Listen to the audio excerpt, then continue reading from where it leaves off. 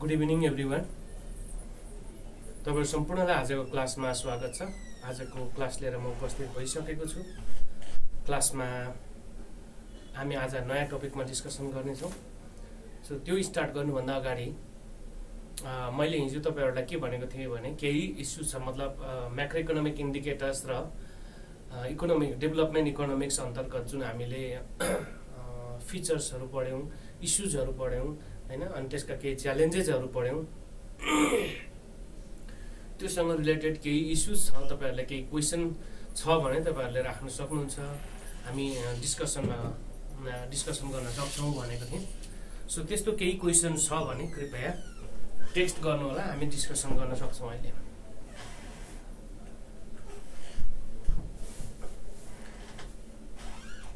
ठिक छ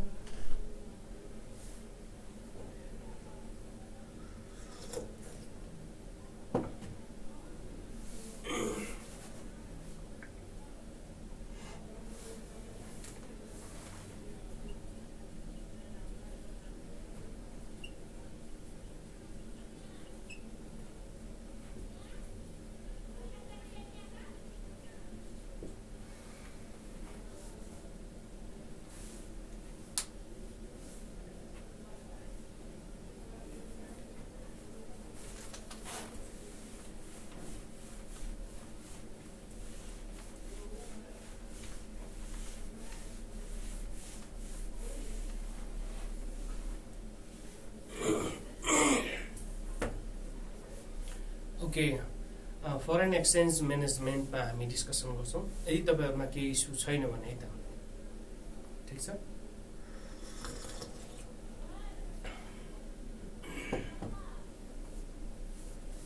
okay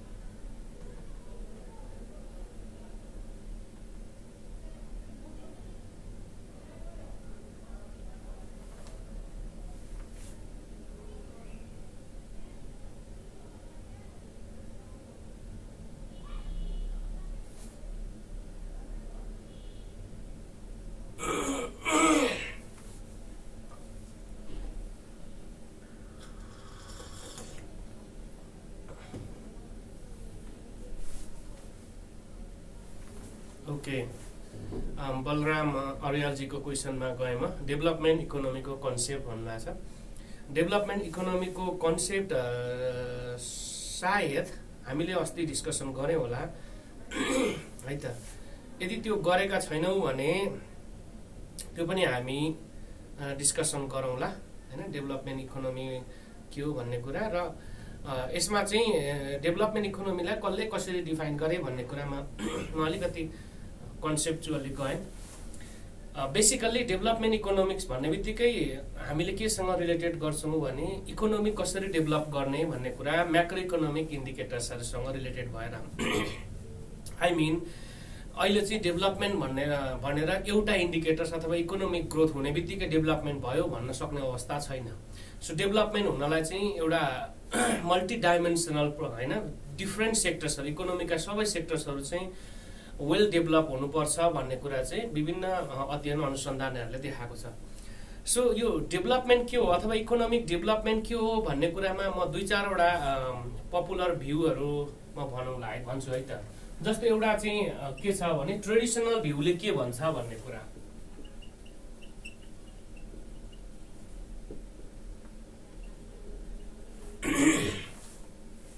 traditional भ्यूले के भन्छ त इकोनोमिक डेभलपमेन्ट भनेको के हो भन्ने भन्दाखेरि त्यति यो ट्रेडिसनल भ्यू भनेको चाहिँ अलिकति क्लासिकल इकोनोमिक्सहरूको भ्यू हो। त्यतिखेर चाहिँ इकोनोमिक डेभलपमेन्ट भनेको के हो भनेर डिफाइन गर्दाखेरि के भन्थे त भन्दाखेरि जुन देशको इकोनोमिक ग्रोथ आज अलिकति घाँटीले साथ दिइरहेको छैन।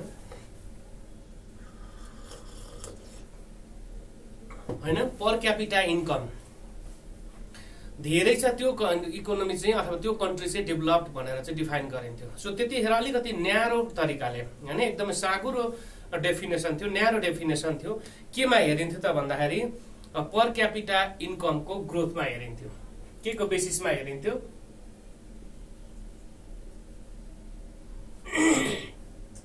जिएनपी है त पर क्यापिटा जिएनपी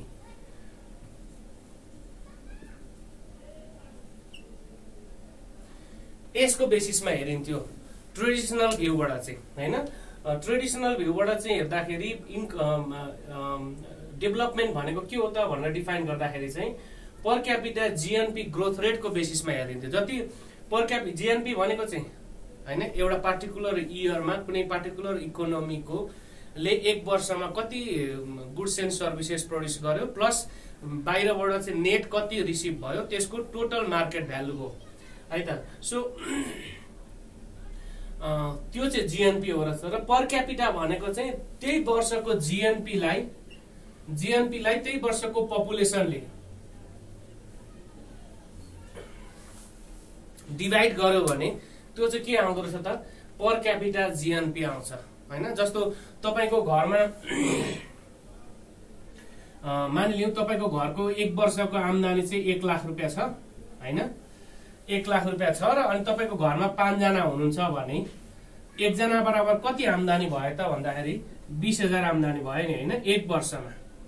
सो यो बिस हजार यो एक लाख चाहिँ केबाट आएको भन्दाखेरि एक वर्षमा कमाइ भएको आम्दानी हो।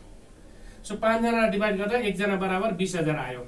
यसलाई नै पर क्यापिटा जिएनपी भने जस्तै हो है त। देश देशको टोटल आम्दानीलाई देशको पपुलेसनले डिभाइड गर्यो भने पर क्यापिटा जिएनपी आयो। होइन जिडिपीमा net इन्डा net foreign foreign factors of प्रोडक्सनको income जोड्यो भने चाहिँ जिएनपी आउँछ भन्ने कुरो अस्ति हामीले डिस्कसन गरिसकेका छौँ।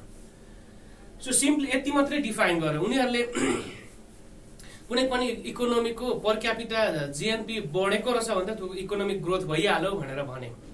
उनीहरूले केमा फोकस गरेनन् भन्दा प्राइमरी इम्पोर्टेन्स चाहिँ यसलाई दिए।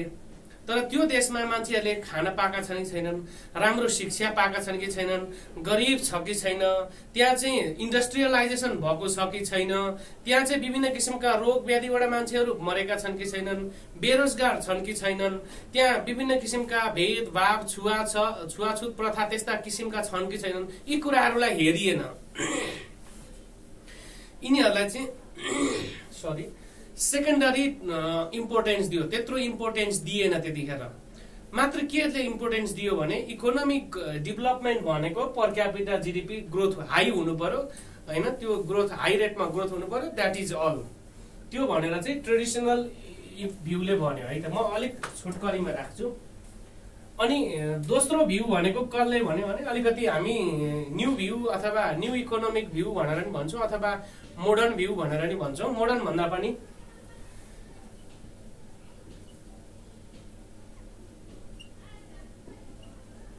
अर्को नयाँ इकोनोमिक भ्यूले चाहिँ के भन त भन्दाखेरि अब इकोनोमिक ग्रोथ भने ए डेभलपमेन्ट भनेको के हो त भन्दाखेरि एउटा इकोनोमिक पर क्यापिटा इन्कम बढेर मात्रै ग्रोथ हुँदैन है। पर क्यापिटा इन्कम बढेर मात्रै ग्रोथ हुँदैन। अरू के हेर्नु पर्यो त भन्दाखेरि per capita income per capita income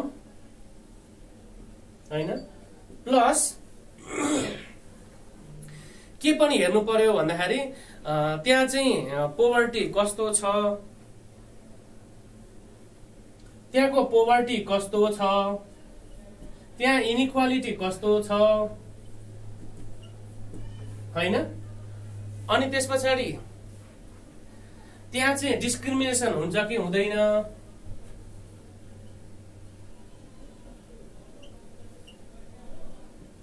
त्यहाँ चाहिँ अनइम्प्लोइमेन्ट छ कि छैन?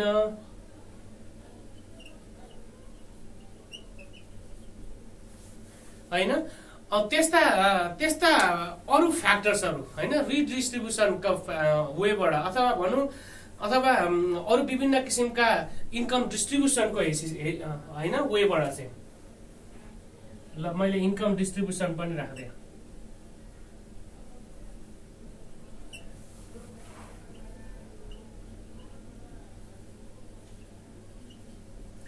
इन्कम डिस्ट्रिब्युसन यी फ्याक्टर्सहरूलाई चाहिँ एनालाइसिस गर्न थाल्यो। यो चाहिँ नाइन्टिन थर्टिजभन्दा अगाडिको दशकतिरका हो भने जब नाइन्टिन थर्टी पछाडि चाहिँ ग्रेट डिप्रेसन आयो ग्लोबल एउटा इकोनोमीमा चाहिँ ठुलो मन्दीमा चाहिँ पर्छ होइन? ट्र्यापमा त्यो मन्दीकोमा चाहिँ एउटा इकोनोमी फस्यो। त्यस पछाडि पछि रिकभर हुँदै जाँदाखेरि नाइन्टिन सेभेन्टिजतिर नाइन्टिन सेभेन्टिजतिरको दशकमा चाहिँ यो भ्यू आयो। के भयो त भन्दाखेरि त्यतिखेरका इकोनोमिस्टहरू र पोलिसी मेकर्सहरूले के थाहा पाए उनीहरूको अध्ययनले के देख्यो भने यो पर क्यापिटा जिएनपी चाहिँ मनज्ञ बढेको छ। यो चाहिँ राम्रो तरिकाले ग्रोथ भइरहेको छ फेरि पनि देश गरिब छ भोकमरी छ त्यहाँ इनिक्वालिटी छ त्यहाँ डिस्क्रिमिनेसन छ। त्यस्तो भइसकेपछि अब चाहिँ उनीहरूले डेभलपमेन्टलाई रिडिफाइन गरे। के भन्यो भने होइन र चाहिँ यो यो मात्रै होइन। यी कुरा पनि समावेश हुनु पर्दो रहेछ डेभलपमेन्टमा भनेर भन्यो। त्यस पछाडि यो चाहिँ डेभलपमेन्टको नयाँ भ्यू हो है त। ठिक छ? अर्को भ्यूमा म गएँ। थर्डमा डेभलपमेन्ट के हो भनेर यतिले मात्रै फेरि पुगेन। पछि नाइन्टिन एटिज ताका एटिज ताका हुनुपर्छ। एटी वान हो क्या सायद। त्यतिखेर चाहिँ इन्डियाको आमार्त्य सेन भन्ने इकोनोमिस्ट आमार्त्य सेन भन्नेले नयाँ एप्रोच निकाले। उनले के भ्यू निकाले त भन्दाखेरि क्यापाबिलिटी एप्रोच भनेर चाहिँ उनले निकाले है त। क्यापाबिलिटी एप्रोच ल।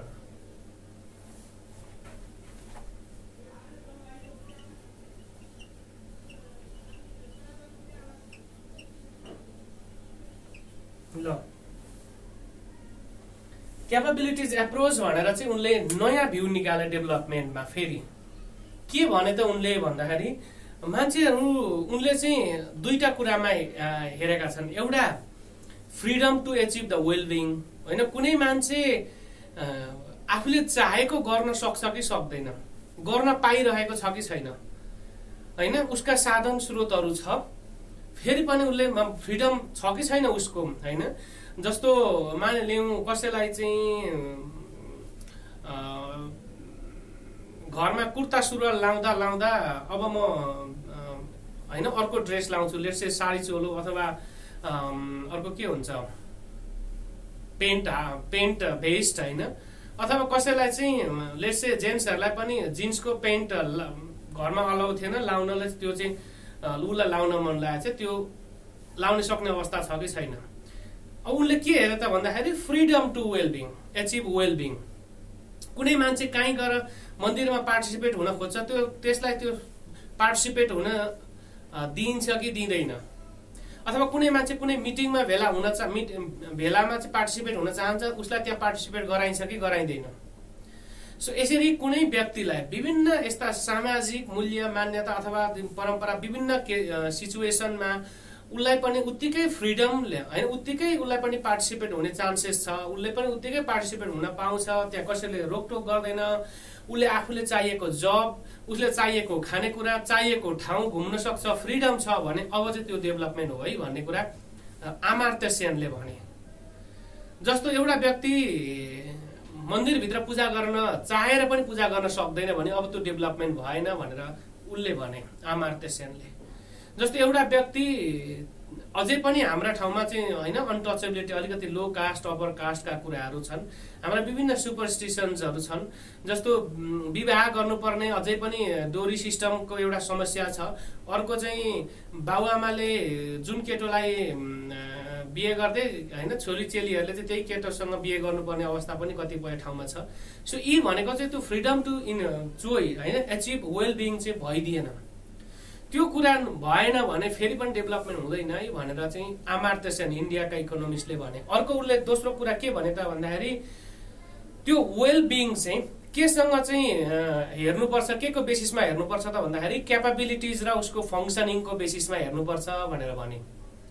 क्यापाबिलिटिज भनेको के हो भने उसको क्षमता अनुसार कुनै व्यक्तिले काम गर्न अथवा केही गर्न पाएको छ कि छैन।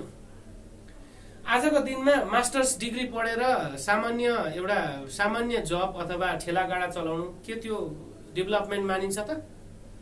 मास्टर्स डिग्री गरेर अथवा लेट्स यो एनबिएल अथवा आरबिबीको फोर्थ लेभलमा जागिरमा एप्लाई गर्न त्यो डेभलपमेन्ट मान्ने हो त? त्यो बाध्यता हो नि। जब यस्तो बाध्यता हुन्छ तपाईँ आफ्नो लेभल क्वालिफिकेसन क्षमता आफ्नो अनुसार जुन त्यो अनुसारको तपाईँले चाहिँ क्यापाबिलिटिज अनुसारको चाहिँ काहीँ केही गर्न सक्नुहुन्न गर्न सक्ने अवस्था छैन त्यस्तो अपर्च्युनिटीहरू छैन भने फेरि पनि डेभलपमेन्ट होइन है भनेर आमार्त्य सेनले भने। सो आमार्त्य सेनको भ्यू यी भ्यूहरूभन्दा फरक भ्यू रहेछ। ठिक छ? आमार्त्य सेनले। उनले के भने? उनले चाहिँ दुईटा कुरा भनेछन् एउटा फ्रिडम टु एचिभ वेलबिङ होइन?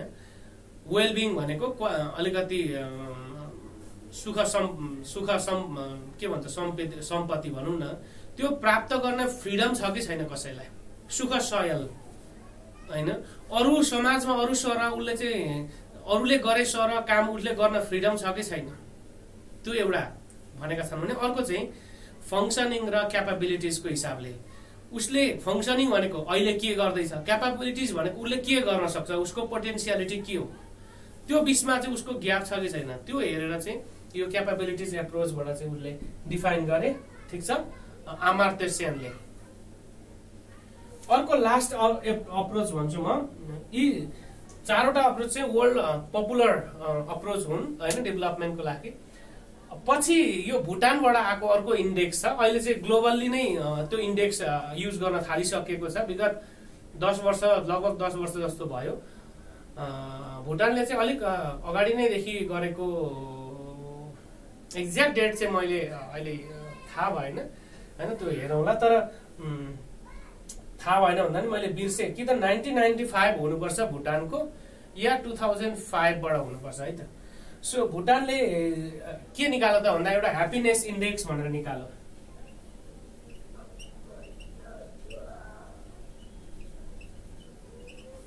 ह्याप्पिनेस इन्डेक्स भनेर निकाल्यो। यो देखिएन है। यो ह्याप्पिनेस इन्डेक्स हो है।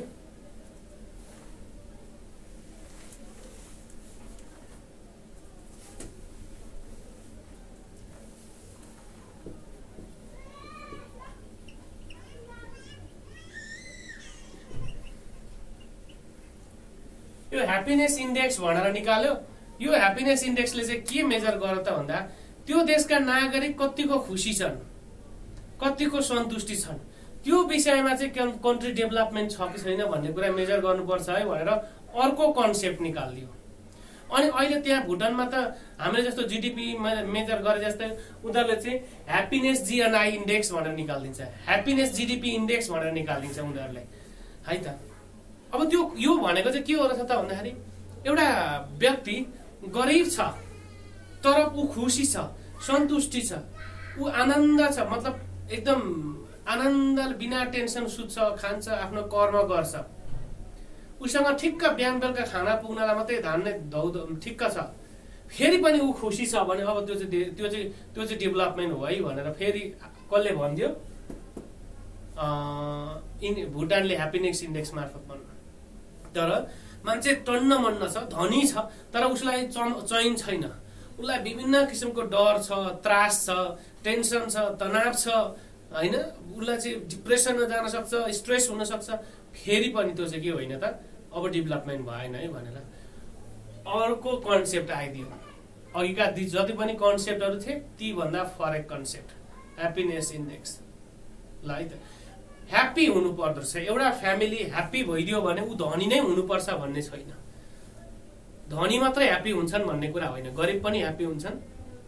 तर ह्याप्पी छन् भने त्यो चाहिँ डेभलपमेन्ट भएको भयो है भन्ने कुरा चाहिँ यो ह्याप्पिनेस इन्डेक्सले मेजर गर्छ। ल मैले चारवटा भ्यू भने अहिलेसम्म ग्लो ग्लोबल इकोनोमीमा विश्वमा डेभलपमेन्ट कस्तो रहेछ भनेर डिफाइन गर्दा अथवा मेजरमेन्ट गर्दाखेरि यिनै भ्यूहरू चाहिँ को बेसिसमा अरू इन्डिकेटर्सहरू राखिन्छ मेजर गरिन्छ। यिनै भ्यूहरू हुन् मेजर भ्यूहरू चाहिँ है त। अब त्यहाँ अरू युएनले डिफाइन गर्ला होइन आइएमएफले डिफाइन गर्ला वर्ल्ड ब्याङ्कले डिफाइन गर्ला त्यो आफ्नो ठाउँमा छ। तर तिनीहरू डिफाइन गरेको भनेको यिनैको बेसिसमा चाहिँ डिफाइन हुन्छ। सो यो चाहिँ फाउन्डेसन हो भनेर बुझ्नुहोस् है।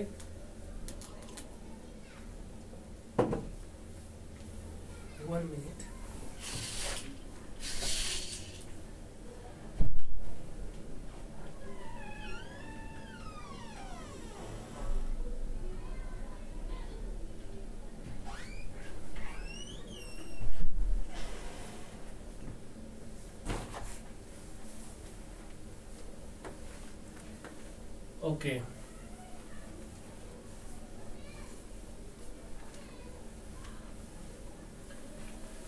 अब म अर्को क्वेसनमा गएँ। सनिसा विष्टको सनिसा विष्टजीले क्वेसन राख्नु भएको छ। Major challenges and opportunities of development after Nepal adopted federal system भन्नुभएको छ। च्यालेन्जेसहरू जुन हामीले हिजो डिस्कसन गऱ्यौँ ती च्यालेन्जेसहरू फेडरल सिस्टम एडप्ट गरिसके पछाडि पनि र गर्नुभन्दा अगाडिका च्यालेन्जेसहरू अलमोस्ट सेम छन्। होइन खासै चेन्जेसहरू देखिएका छैनन् है त? ठिक छ? त्यही भएर ती च्यालेन्जेसहरू दुइटै वेमा तपाईँले राख्न सक्नुहुन्छ। हिजो पनि त्यही सिस्टम थियो। अहिले फेडरल सिस्टम आयो। न होइन सेन्ट्र डिसेन्ट्रलाइज भन्यो फेरि पनि सेन्ट्रलाइज सिस्टम नै छ। फेडरल सिस्टम आयो त्यहाँ चाहिँ हाम्रो अलिकति अझ खर्चको बर्डन है त। हामीलाई होइन रेभेन्यूको बर्डन अथवा एक्सपेन्डिचर बर्डन चाहिँ अझ बढेर गएको छ। त्यो कहाँबाट जुटाउने भन्ने कुरा रेभेन्यू कहाँबाट जुटाउने भन्ने पनि रहेछ त्यो च्यालेन्जेस त्यस्ता च्यालेन्जेसहरू आएका छन् जुन हिजो हामीले डिस्कसन गरिसकेका छौँ। योभन्दा अघिल्लो क्लासमा त्यो रेकर्डेड भिडियो हेर्नु होला है सनिसाजी च्यालेन्जेसको विषयमा। अब अपर्च्युनिटीको केसेसमा चाहिँ म केही पोइन्ट्स भन्छु। बाँकी कुराहरू केही पोइन्ट्सहरू चाहिँ म फेरि तपाईँहरूलाई उसमा राखौँला नोट्समा यो क्वेसन पनि बेसिकल्ली एउटा पोटेन्सियल क्वेसन चाहिँ हुनसक्छ। सो अपर्च्युनिटी के चाहिँ भयो होला त के चाहिँ पायौँ होला त फेडरल सिस्टम हामीले ल्याइकन तपाईँ आफै यसो रियलाइज गर्नुहोस् त के पाउनु भयो हिजो र आजमा के पाइयो होला? एग्रिगेट एउटा पारिवारिक एउटा इन्डिभिजुअल रूपमा होइन एउटा नेसनल लेभलमा एग्रिगेट रूपमा चाहिँ के पाइयो होला हामीले? अपर्च्युनिटी के आयो होला?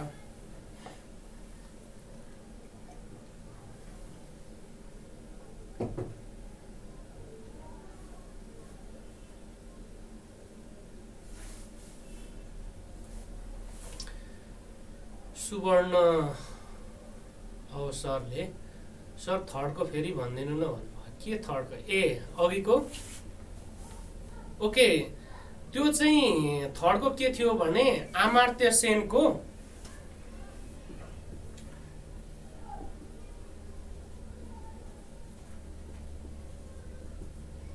आमार्त्य सेनको क्यापाबिलिटी एप्रोच थियो है त।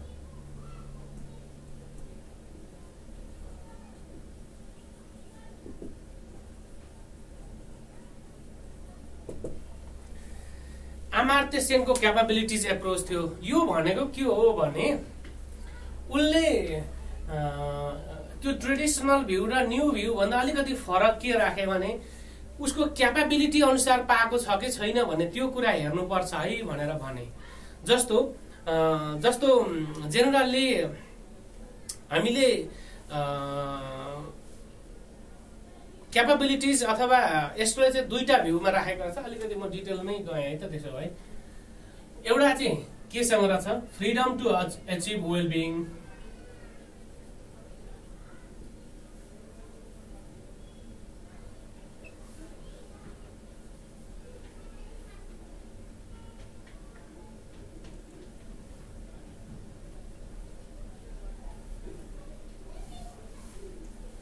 अर्को रहेछ के रहेछ त भन्दाखेरि त्यो वेल बिङ चाहिँ कसरी अन्डरस्ट्यान्ड गर्ने त कसरी बुझ्ने त? भन्दाखेरि त्यो चाहिँ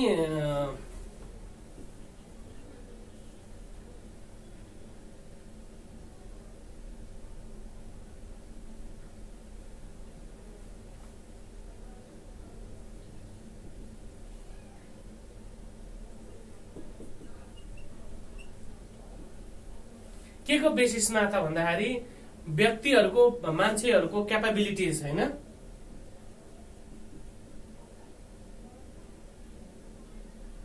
पिपुल्स क्यापाबिलिटिज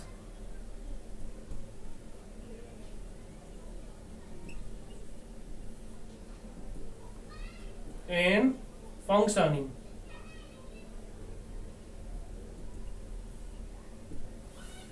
दुईटा भ्यूमा चाहिँ उसले फोकस गरेका रहेछन्। एउटा freedom to achieve well being अर्को चाहिँ well being in terms of people's capabilities and functioning त्यो भनेको के हो त भन्दाखेरि जस्तो जेनरल्ली क्यापाबिलिटिज भनेर यहाँ के भन्न खोजेको भने यदि पिपुल होइन त्यो चाहिँ capabilities are the doings and beings भन्नुहोस् है त उनीहरूले के गर्नु पर् गर्दैछन् र के गर्न सक्नेछन् त्यो बेसिसमा चाहिँ डिफाइन गर्न खोजेको होइन सो यदि उनीहरूले चाहे भने के गर्न सक्छन्?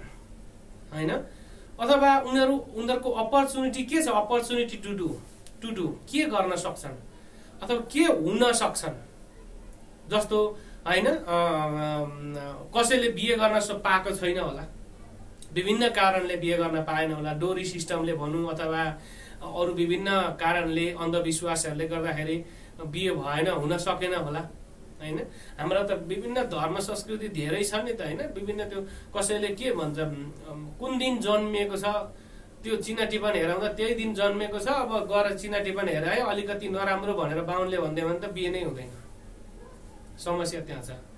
डोरी सिस्टम छ अलिकति बेसी त बेसी अलिकति होइन कम अथवा सामान्य परिवारको व्यक्ति छ अलिक अलिकति गरिब परिवारको व्यक्ति छ धेरै दाइजो माग्यो भने बिहे नै हुँदैन। अब त्यस्ता केसेसहरू छन्।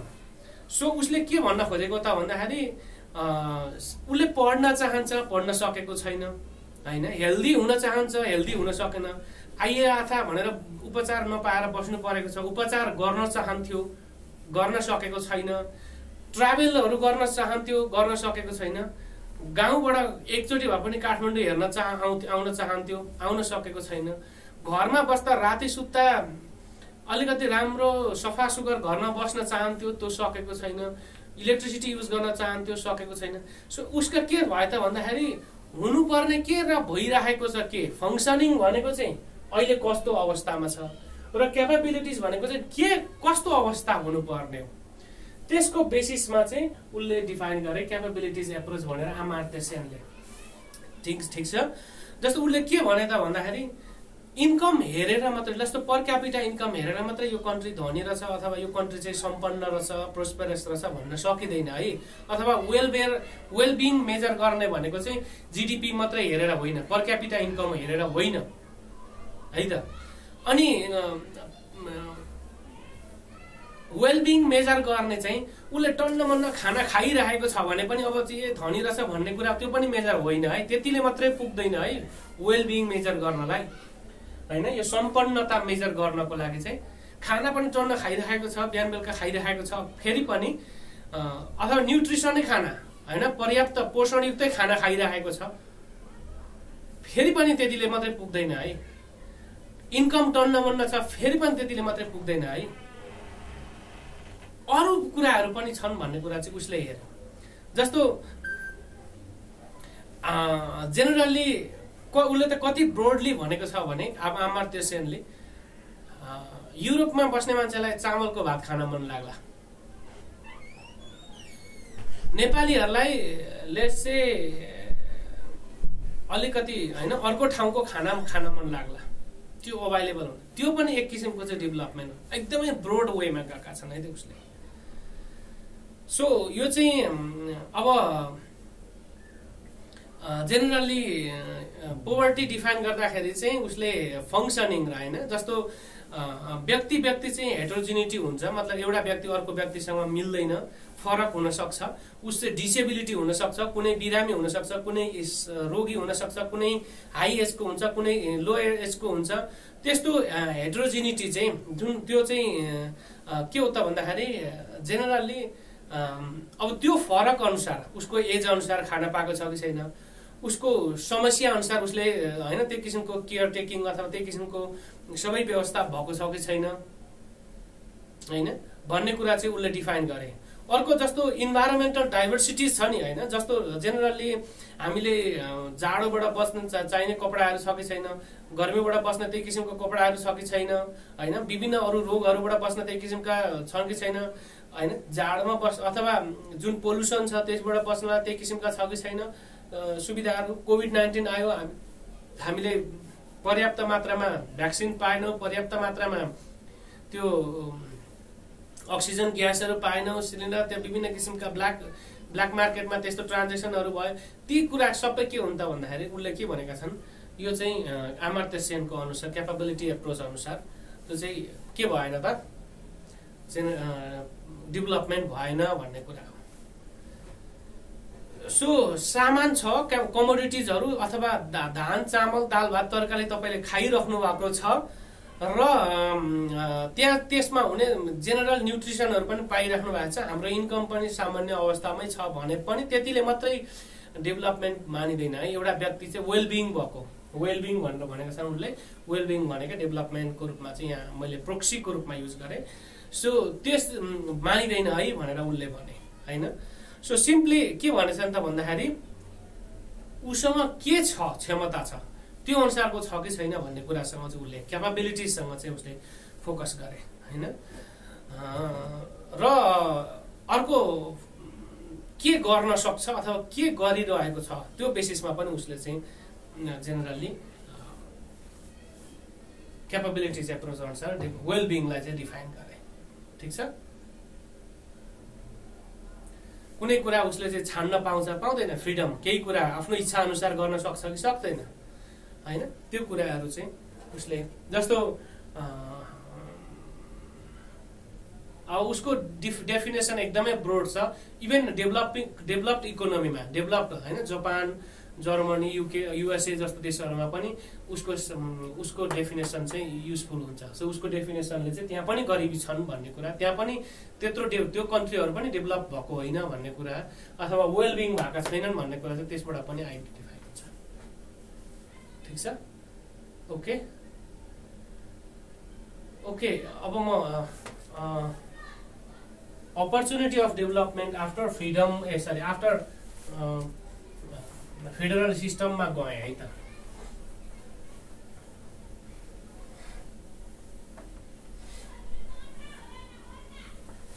अब यो फेडरल सिस्टमको बेसिकल्ली बेसिक त्यसको अप्रोच त्यसको मोडल के हो त भन्दाखेरि रिसोर्सेसहरू स्थानीय रिसोर्सेसहरू चाहिँ स्थानीय आफ्नै ठाउँमा त्यहीँका जनताहरूले त्यही युज गरेर स्थानीय तहलाई चाहिँ मजबुत प्रोस्पेरस डेभलप गराउने चाहिँ यसको मोडेल हो। मेन मोडेल भनेको के हो रहेछ त? जस्तो एउटा मानिलिउँ हुम्लाको एउटा एउटा गाउँपालिकाको एउटा वडामा अथवा एउटा गाउँपालिका लेट्से हुम्लाको यो हुम्लाको एउटा गाउँपालिकामा के भयो त भन्दाखेरि त्यहाँ विभिन्न किसिमका आम्दानीका स्रोतहरू छन् त्यहाँ विभिन्न किसिमका अरू होइन त्यहाँको कम्पिटेटिभ एडभान्टेज भनौँ अथवा कम्पेरिटिभ एडभान्टेज त्यस्ता कुराहरू चाहिँ छन् त्यो जिल्लामा त्यो गाउँपालिकामा। अब यो मोडेल अनुसार मतलब फेडरल सिस्टम अनुसार त्यसको मोडेल त्यसको मेन अब्जेक्टिभ्स के हो त भन्दाखेरि यहाँ यो गाउँपालिमा गाउँपालिकामा भएको रिसोर्सेस पहिला चाहिँ के गर्थ्यो त्यो रिसोर्सेस घुमेर देशमा आउँथ्यो सेन्ट्रलमा आउँथ्यो अनि त्यहाँबाट सेन्ट्रलले थोरै डिभाइड गरेर जान्थ्यो। है त? अब चाहिँ त्यस्तो होइन। हुम्लाको यो गाउँपालिका यो रुरल म्युनिसिपालिटी लेट्स से यसको नाम चाहिँ एबिसी छ। यो एबिसी म्युनिसिपा रुरल म्युनिसिपालिटी चाहिँ अब त्यहाँ चाहिँ सर्वे सर्वा हो उसैले डिसिजन लिन पाउँछ। के गर्ने कसो गर्ने सम्पूर्ण त्यो सर त्यो त्यो गाउँपालिका यो एरियाभित्रको चाहिँ सरकारै यही हो। सो अब यहाँका जे जस्तो आम्दानीका स्रोतहरू छ त्यो कसरी कलेक्ट गर्ने र त्यो त्यसलाई चाहिँ कसरी युटिलाइज मोबिलाइजेसन गरेर त्यसबाट म्याक्सिमम बेनिफिट ल्याउने त्यहीँको जनताको लागि। कसरी म्याक्सिमम बेनिफिट लिने भन्ने कुराको डिसिजन गर्न त्यो सबै प्लान पोलिसीहरू बनाउन त्यहीँको जनतालाई दिने हिसाबले चाहिँ डेभलप भएको मोडेल हो। सो सिम्पली के रहेछ त? स्थानीय साधन स्रोतहरू त्यहीँका स्थानीयहरूद्वारा नै कसरी बाँडफाँड गर्ने कसरी एलोकेट गर्ने भनेर त्यहीँको स्थानीयहरूकै पार्टिसिपेसनमा त्यही आफ्नो एरियालाई डेभलप गर्ने मोडेल चाहिँ फेडरल सिस्टम हो। है त? फेडरल सिस्टम हो। अब यो फेडरल सिस्टमको मोडेल बुझिसके पछाडि हामीले के बुझौँ भने अर्को दोस्रो अब्जेक्टिभ भनेको चाहिँ त्यो इन्टायर स्टेटलाई चाहिँ होइन विभिन्न क्लस्टरमा डिभाइड गरेर क्लस्टरमा डिभाइड गरेर जस्तो सातवटा प्रदेश भनेर भनेको छौँ हामीले यसरी क्लस्टरमा डिभाइड गरेर ब्यालेन्स इकोनोमिक ग्रोथ गर्ने पनि अर्को अब्जेक्टिभ हो। अब अपर्च्युनिटी के के दिएको छ त भन्दाखेरि फेडरल सिस्टमले हाम्रा एउटा अपर्च्युनिटी भनेको चाहिँ त्यही हो रहेछ पार्टिसिपेसन चाहिँ बढाएको छ है त। स्थानीयको पार्टिसिपेसन चाहिँ विकासको काममा डेभलपमेन्ट प्रोजे डेभलपमेन्ट फङ्सनमा चाहिँ जेनरल्ली त्यहीँका मान्छेहरू पार्टिसिपेट भएर डेभलपमेन्ट गर्छ। जस्तो एउटा गाउँमा अहिले होइन कति तिस पैँतिस करोडको बजेट जाला त्यो बजेट गाउँपालिकाको साइज अनुसार अथवा नगरपालिकामा तिस तिस चालिस करोडको बजेट जाला। अब त्यो कसले डिसिजन गर्ने त? त्यहीँको नगरपालिकाको मेयर उपमेयर त्यहाँका वडा अध्यक्ष त्यहाँको नगर परिषद तिनै बसेर चाहिँ डिसिजन गर्छन्। कसरी गर्ने केमा खर्च गर्ने क बाटो घाटो बनाउने कि पुल बनाउने कि त्यो मठ मन्दिर धारा पार्टी पौवा के बनाउने केमा फोकस गर्ने? बजार व्यवस्थापन। सो त्यो चाहिँ के रहेछ त भन्दाखेरि त्यो चाहिँ एउटा अपर्च्युनिटी रहेछ। है त? होइन? स्थानीयले आफ्नो एरियामा आफै पार्टिसिपेट भएर गर्न विकास कस्तो कस्तो प्रोजेक्ट ल्याउने कस्तो कस्तो डेभलपमेन्ट गर्ने भन्ने कुराको मोडल आफै बनाएर डेभलप गर्न सक्ने अपर्च्युनिटी भयो। ठिक छ? अर्को सेकेन्ड अपर्च्युनिटी भनेको मैले यहाँ लेखिनँ है त्यो कुराहरू। नोट्समा तपाईँहरूलाई फर्मल्ली म उपलब्ध गराउँला। यो ओके। यो क्वेसन्स ल ठिकै छ मैले तपाईँको क्वेसन पनि लिएँ है त।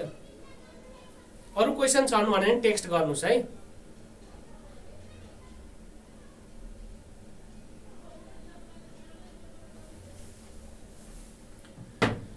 ओके अर्को सेकेन्ड अपर्च्युनिटी के दिएको छ त भन्दाखेरि फेडरल सिस्टमले चाहिँ मान्छे पब्लिकलाई अवेर बनाएको। है त पब्लिकमा अवेर बनायो। डेभलपमेन्टपछि उनीहरूमा चाहिँ पब्लिक अवेरनेस बढाएर गयो।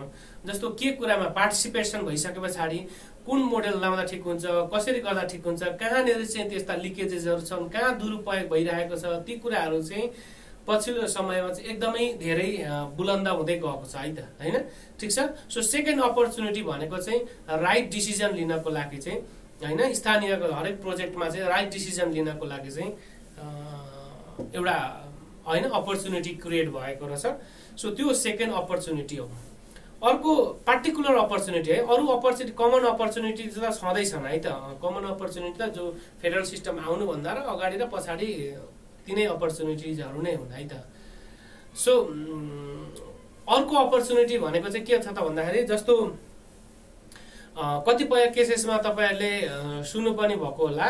यस्तो यस्तो के अरे पानीको मुहानसँग संरक्षण गर्ने होस् या अथवा स्थानीय भाषा संरक्षण गर्ने होस् या स्थानीय कल्चर संरक्षण गर्ने होस् ती कुराहरूमा चाहिँ बेसी प्रायोरिटी दिएको पाइन्छ। अहिले नगरपालिकाले आफ्नो एरियामा कुन भाषा कुन जाति कुन संस्कार बेसी चाहिँ त्यसको बाहुल्यता छ त्यसकै बेसिसमा चाहिँ ती संस्कार त्यस्ता भाषाहरूलाई प्रमोट गर्नको लागि अथवा तिनीहरूलाई चाहिँ तिनीहरूको संरक्षण गर्नको लागि चाहिँ होइन पाठ्यक्रममै पनि पाठ्य पुस्तकहरू बुकहरूमै पनि त्यो एउटा भाषा चाहिँ पढाइ हुन्छ। जस्तो काठमाडौँका विभिन्न स्कुलमा एउटा नेवारी भाषा पढाइ होला मगर गाउँमा मगर भाषाको बुक पढाइ होला होइन थारू थारू गाउँमा थारू भाषाको बुक पढाइ होला। सो त्यो भनेको चाहिँ कसले ल्याएको अपर्च्युनिटी भन्दाखेरि यो फेडरल सिस्टमले ल्याएको हो। यो चाहिँ जेनरल्ली यसले के गर्यो त भन्दाखेरि हाम्रा भइरहेका संस्कार संस्कृति मूल्य मान्यता र भाषालाई चाहिँ संरक्षण गर्ने काम गरेको छ। त्यो एउटा टिपिकल टिपिकल एउटा के हो त भन्दा अपर्च्युनिटी हो होइन? र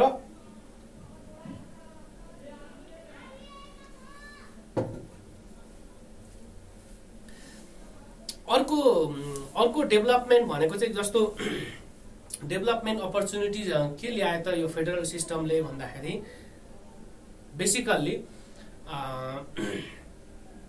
जस्तो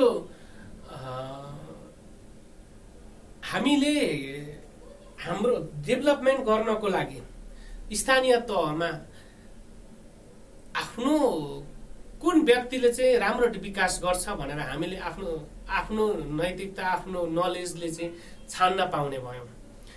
पहिला चाहिँ के हुन्थ्यो भने जस्तो केन्द्रीकृत शासनबाट सेन्ट्रलाइज गभर्नेन्स सिस्टम हुँदाखेरि चाहिँ होइन त्यहाँ के हुन्थ्यो त जेनरल्ली अब माथिबाटै चाहिँ यस्तो यस्तो भनेर चाहिँ आउँथ्यो। सबै प्रिडिटरमाइन्ड क्यान्डिडेट्सहरू हुन्थ्यो। सो त्यसले चाहिँ के गर्यो त भन्दाखेरि जुन हामीले आफ्नो चाहेको क्यान्डिडेट्स होइन जसले चाहिँ क्षमतावान छ जसले चाहिँ देश अथवा आफ्नो स्थानीय तहमा केही गर्न सक्छ त्यो कुराहरू चाहिँ छान्न पाइने सक्ने अवस्था थिएन। सो अहिले आएर चाहिँ त्यो अवस्था क्रिएट भएको छ। सो त्यो अर्को एउटा अपर्च्युनिटी हो।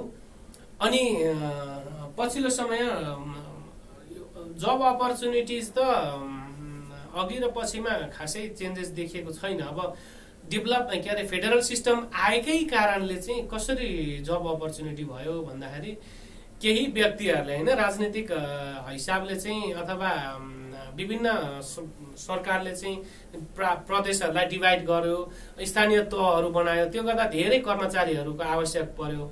सो त्यतिखेर केही कर्मचारीहरू चाहिँ थपो होला होइन? त्यसले जब जब अपर्च्युनिटी क्रिएट चाहिँ गर्यो एक हिसाबले तर त्यत्रो ड्रास्टिक चेन्जेस चाहिँ आएन है त जब अपर्च्युनिटीमा होइन? अब यसका च्यालेन्जेस त अथवा त्यो लिकेजेस हुन्छ कि अथवा मिसयुज हुन्छ कि रिसोर्सेसहरू भन्ने कुराहरू च्यालेन्जेस होला।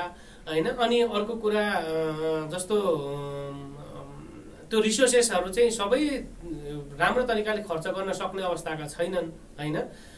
रा जुन ठाउँमा खर्च गर्नुपर्ने त्यो ठाउँमा नगरेर अर्को ठाउँमा अथवा स्थानीय तहमा चाहिँ विभिन्न किसिमका द्वन्द्व होइन? विभिन्न किसिमका चाहिँ जस्तै विवादहरू डिस्प्युट्सहरू चाहिँ क्रिएट भएको पाइन्छ। त्यो पनि त्यसलाई कसरी सोसल हार्मोनी अथवा सोसल एउटा पिस चाहिँ मेन्टेन गर्ने अथवा क्रिएट गर्ने भन्ने अर्को च्यालेन्जेस होला होइन? ती टिपिकल च्यालेन्जेसहरू छन्। ओके अब अर्को फेडरल सिस्टमले ल्याएको अपर्च्युनिटिज भनेको चाहिँ जस्तो हामीले केन्द्रीय स्तरमा होइन फेडरल गभर्मेन्टको सिस्टममै हेऱ्यौँ अथवा प्रोभिन्स लेभलमा हेऱ्यौँ भने पनि केही अपर्च्युनिटिजहरू चाहिँ क्रिएट भएका छन्। जस्तो प्रोभिन्स लेभलले अहिले हाम्रो चाहिँ फिजिकल फेडरलिजम फेडरलिजम सिस्टम अनुसार के हुन्छ त भन्दाखेरि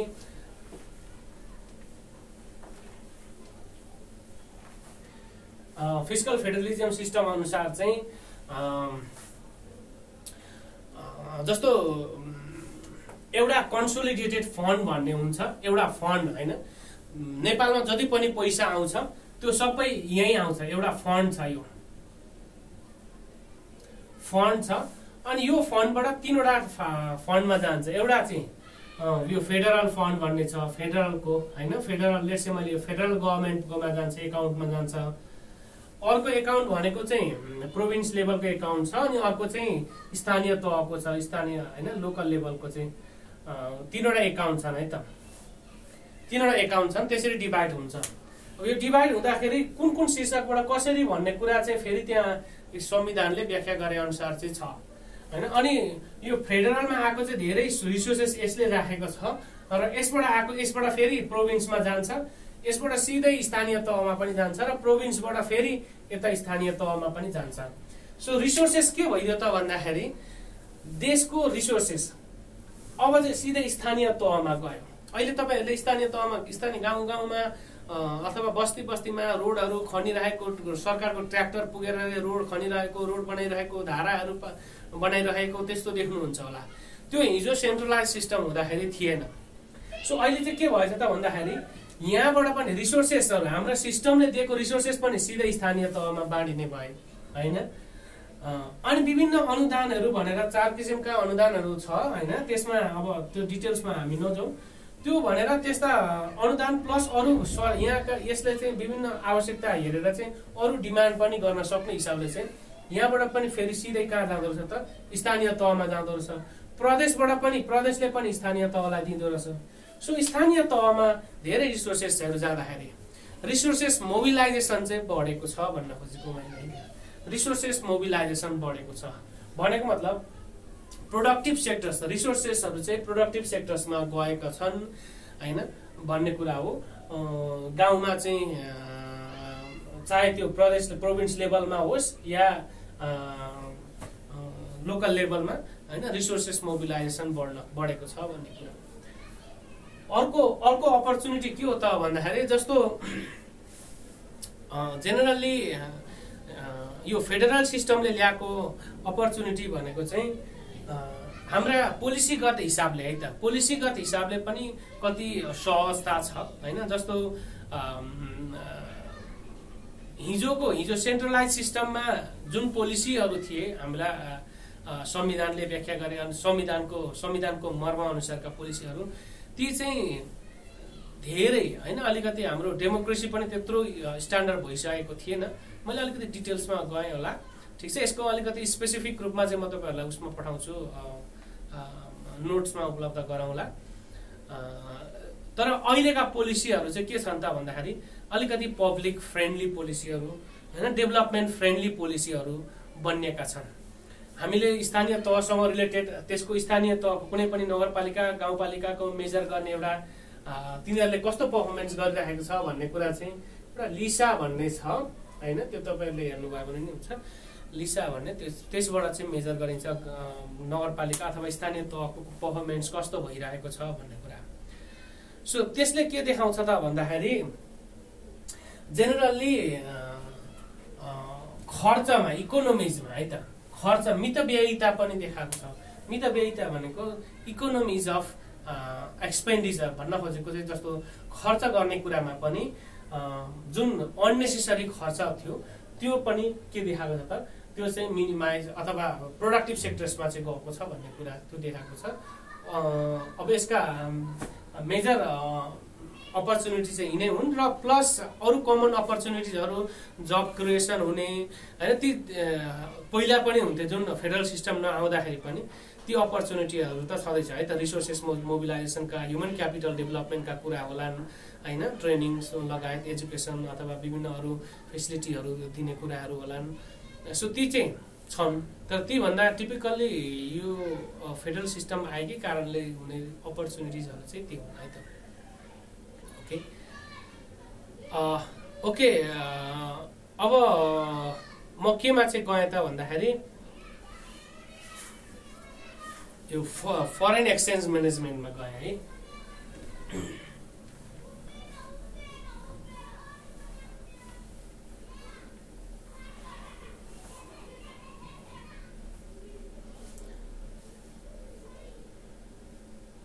ठिक छ? सो फरेन एक्सचेन्ज म्यानेजमेन्ट हामीले यो टपिकमा डिस्कसन गर्दै गर्दाखेरि के बुझ्नुपर्छ भने पहिला फरेन एक्सचेन्ज के हो भन्ने कुरा बुझ्नुपर्छ। फरेन एक्सचेन्ज के हो? अनि यो म्यानेजमेन्ट किन गर्नु आवश्यक छ भन्ने कुरा हो। सिम्पली ठिक छ?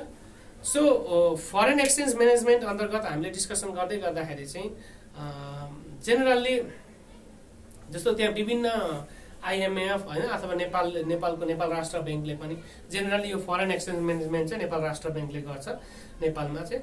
अथवा अरू देशको चाहिँ अरू देशको सेन्ट्रल ब्याङ्कले गर्दै आएको छ। सो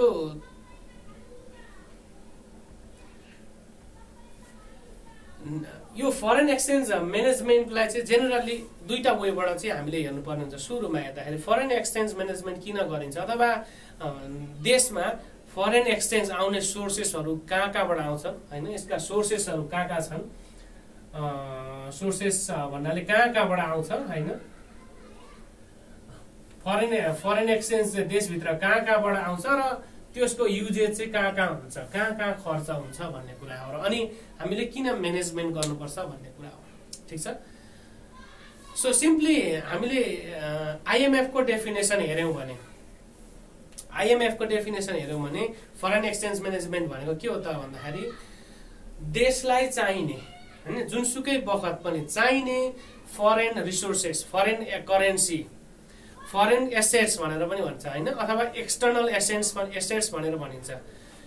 त्यो चाहिँ पर्याप्त रिक्वायर अथवा डिजायर अमाउन्टमा जस जेनरली त्यो मोनिटरी पोलिसीले चाहिँ गरेको हुन्छ। नेपालमा कम्तीमा सात महिना पुग्ने गरी यसपालि भनेर चाहिँ यसपालि चाहिँ यसपालिको मोनिटरी पोलिसीले कम्तीमा सात महिना होइन इन्टरनेसनल ट्रेड गर्न पुग्ने गरी त्यो कभर गर्ने गरी फरेन एक्सचेन्ज रिसर्भ चाहिँ म्यानेज गरिनेछ भनेर भनेको छ। सो त्यो भनेको के त भन्दा एउटा डिजायर लेभलमा चाहिँ फरेन एक्सचेन्ज होइन मेन्टेन गर्नु।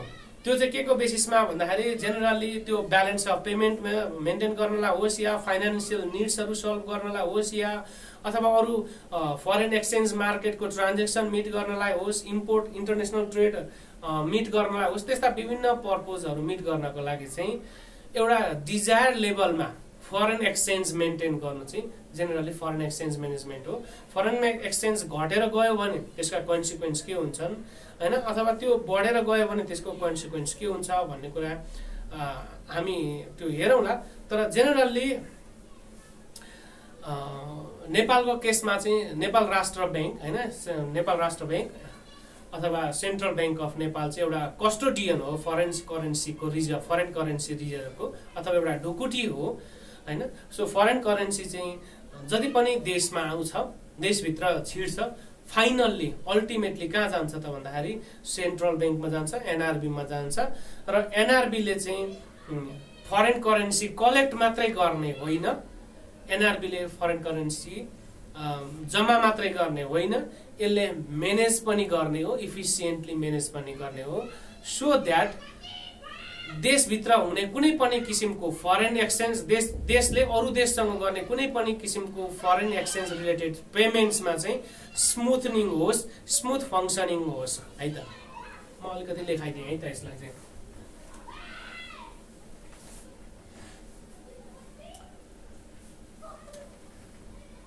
NRB central bank is the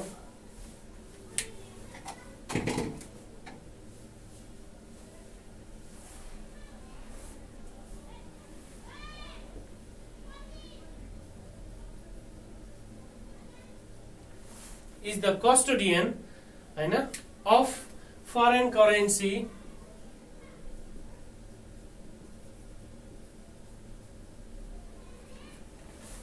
foreign currency reserve of Nepal है त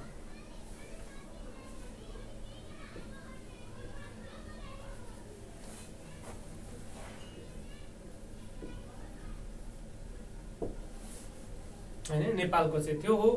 र फरेन करेन्सी जति पनि देशमा आउँछ त्यो के हुँदो रहेछ त? फाइनली सेन्ट्रल ब्याङ्कमा आउँछ। र सेन्ट्रल ब्याङ्कले त्यो पैसा कलेक्ट गर्ने मात्रै होइन म्यानेज गर्ने काम पनि गर्छ। ठिक छ?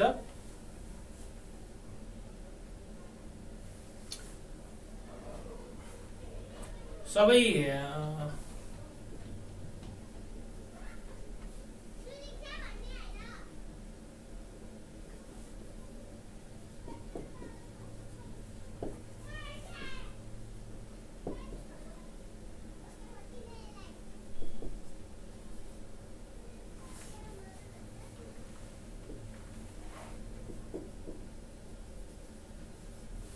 फाइनल्ली कहाँ आउँछ त भन्दाखेरि।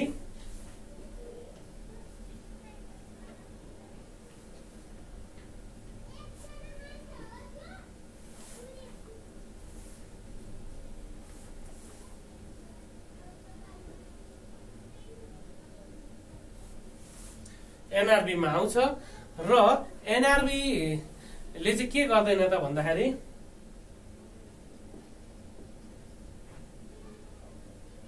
जुन चाहिँ यसले चाहिँ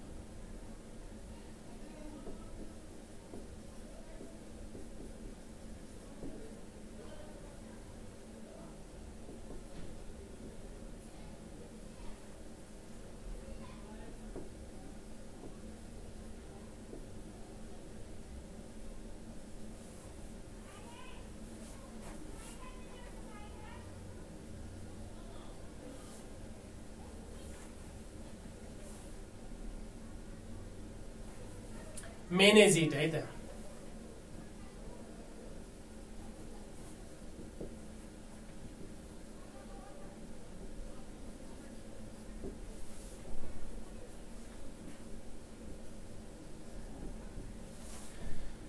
so that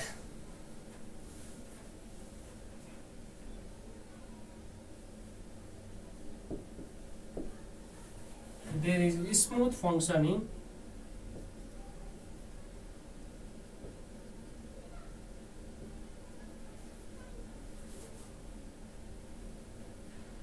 so that there is a smooth functioning of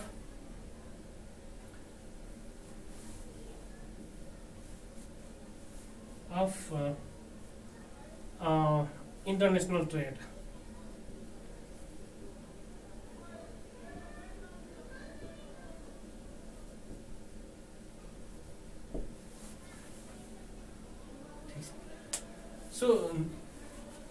Central bank चाहिँ के रहेछ त भन्दाखेरि फरेन करेन्सी रिजर्भ गर्दो रहेछ।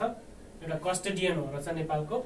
र यसले चाहिँ फरेन करेन्सी जति पनि देशमा आउँछ त्यो चाहिँ सेन्ट्रल ब्याङ्कमा आउँछ होइन? र सेन्ट्रल ब्याङ्कको काम चाहिँ के मात्रै गर्ने होइन भने त्यो फरेन करेन्सी कलेक्ट गर्ने मात्रै होइन। यसले चाहिँ फरेन करेन्सी इफिसियन्टली म्यानेज गर्ने पनि हो। के को लागि? भन्दाखेरि स्मुथ फङ्सनिङ अफ इन्टरनेसनल यहाँ पेमेन्ट्स लेखौँ है सजिलोको ट्रेड भन्दा पनि। पेमेन्ट्स भयो भने सबै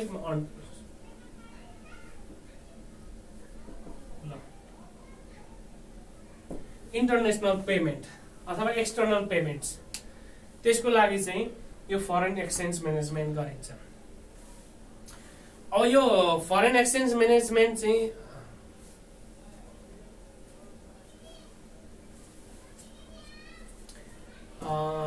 Nepal Rastra bank act NRB act two thousand two अथवा होइन नेपाली डेट अनुसार टु थाउजन्ड फिफ्टी एटको त्यसको सेक्सन नम्बर सिक्सटी सिक्समा चाहिँ व्यवस्था गरेको छ। त्यसले व्यवस्था गरे अनुसार चाहिँ सेन्ट्रल ब्याङ्कले के गर्छ त भन्दाखेरि फरेन करेन्सी रिजर्भ चाहिँ म्यानेज गर्छ अथवा त्यसले चाहिँ मेन्टेन गर्छ।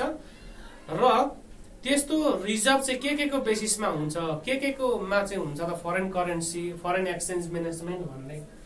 भन्ने कुरामा चाहिँ त्यहाँ विभिन्न जस्तो विभिन्न इन्टरनेसनल करेन्सिजहरू हुन्छ। है त फरेन करेन्सिज हुन्छ अथवा गोल्ड हुन्छ। त्यसमा अरू आइएमएफको होइन स्पेसल ड्रइङ राइट्सहरू हुन्छन्। त्यो कुरा त्यो पनि लेखौँ है त। अलिकति क्लियर हुन्छ। अनि अलिकति तपाईँहरूलाई कन्सेप्ट क्लियर भएपछि चाहिँ सबै अलिक डिटेलमा लेख्नु पर्दैन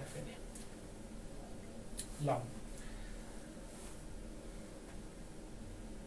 Uh, um,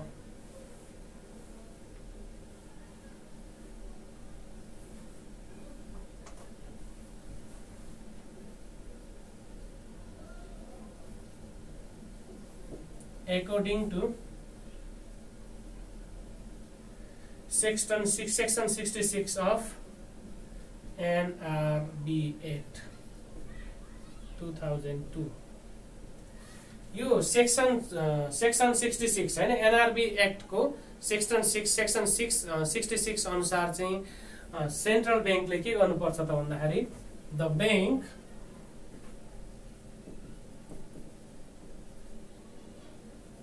a sorry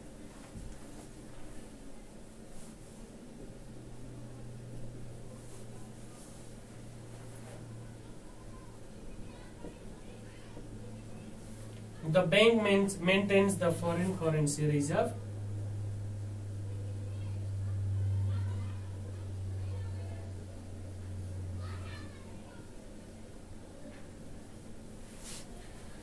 होइन? फरेन करेन्सी रिजर्भ अब के के को बेसिसमा हुन्छ? त्यो फरेन करेन्सी रिजर्भ चाहिँ उसले गर्छ होइन? के के को बेसिसमा भन्दाखेरि चाहिँ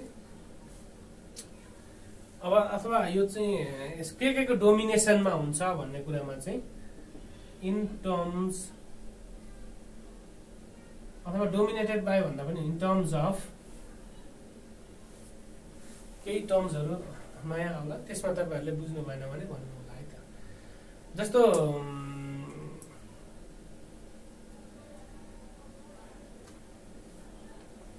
in terms of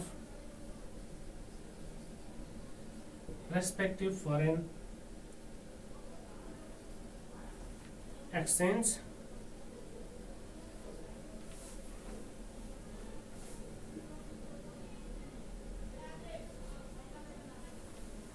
And अरू अरू पनि हुन्छन्। जस्तो अरू के के हुन्छन् त भन्दाखेरि यो चाहिँ के को बेसिसमा हुन्छ अथवा यो एन एन कन्सिस्ट अफ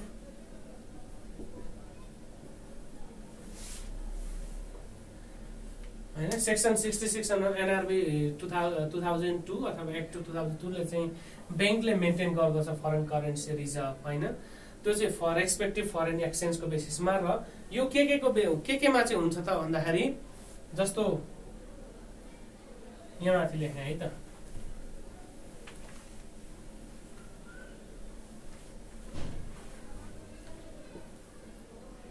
एउटा गोल्ड एन्ड अरू भ्यालु भ्यालुएबल मेटल्सहरू हुन्छ होइन? गोल्ड एन्ड अदर प्रिसियस भनौँ। मेटल्स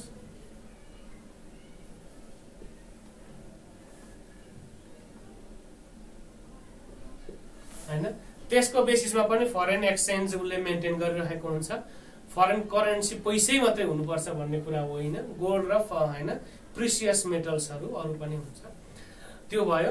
त्यस पछाडि अर्को चाहिँ फरेन करेन्सी भनौँ होइन?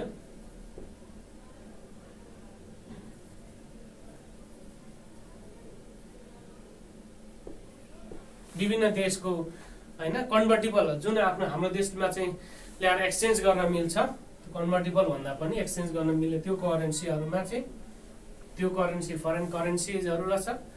त्यस्तै गरेर अर्को अरू देशहरूको सेक्युरिटिजहरू होइन? सेक्युरिटिजमा पनि राखेको हुन्छ।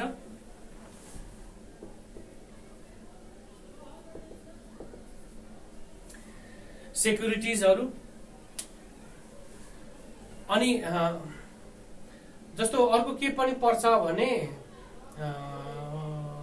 यो चाहिँ सेक्युरिटीको के को बेसिसमा हुन्छ त भन्दाखेरि फरेन करेन्सीको है त? नेपालको करेन्सीमा भएको सेक्युरिटी चाहिँ है त है त? यसलाई मैले अलिकति लेखेँ। डोमिनेटेड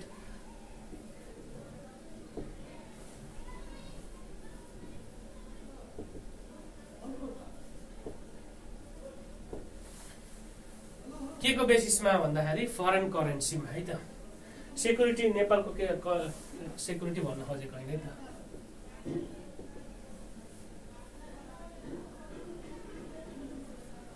फरेन करेन्सी होइन? त्यो हुन्छ। त्यस पछाडि अर्को के पनि होल्ड गर्छ भने आइएमएफको पैसा। आइएमएफको मनी भनेर स्पेसल एसडिआर हो है त? यो S special drawing rights special drawing rights यो भनेको आइएमएफको पैसा हो आइएमएफको एसेट्स हो। त्यो पनि होल्ड गर्छ त्यसलाई पनि फरेन एक्सचेन्ज मेनेज एक्सचेन्ज रिजर्भमै राख राखिन्छ। त्यो पनि अथवा योलाई चाहिँ तपाईँहरूले फुल फर्मै लेख्न सक्नुहुन्छ। स्पेसल ड्रइङ राइट्स है त।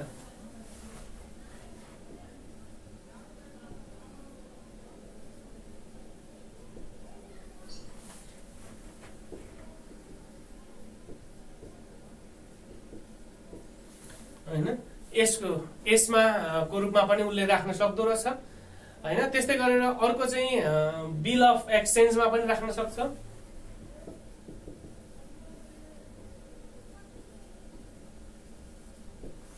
होइन? अर्को चाहिँ प्रमिस प्रमिसरी नोट्स प्रमिसरी नोटको रूपमा पनि राख्न सक्छ। Promissory note.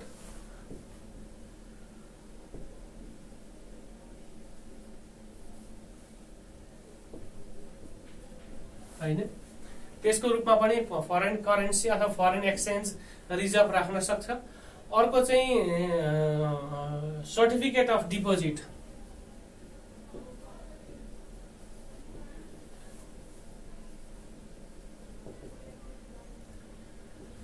त्यसको रूपमा पनि राख्छ होइन? अर्को बोन्डको बोन्डको रूपमा पनि राख्छ होइन? बोन्ड्सको रूपमा पनि राख्छ फरेन करेन्सी रिजर्भ र अरू विभिन्न डेट इन्स्ट्रुमेन्ट्सहरू हुन्छन् है त? And other various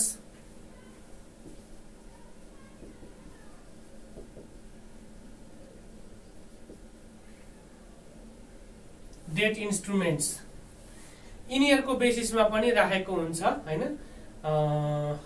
यो चाहिँ केमा हुनु पर्यो त भन्दाखेरि payable payable in convertible foreign currency हुनु पर्यो।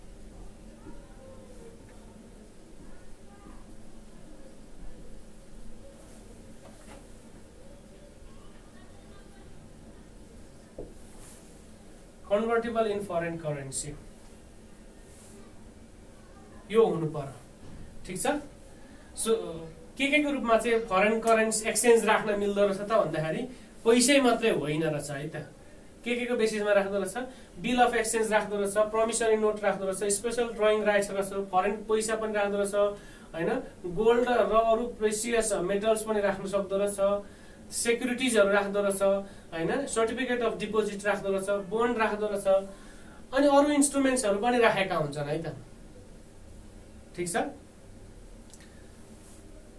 ओके अब यो चाहिँ सेन्ट्रल ब्याङ्कसँग मात्रै पनि हुँदैन है त? कतिपय फरेन करेन्सीहरू चाहिँ ब्याङ्क तथा वित्तीय संस्थाहरू पनि हुन्छ।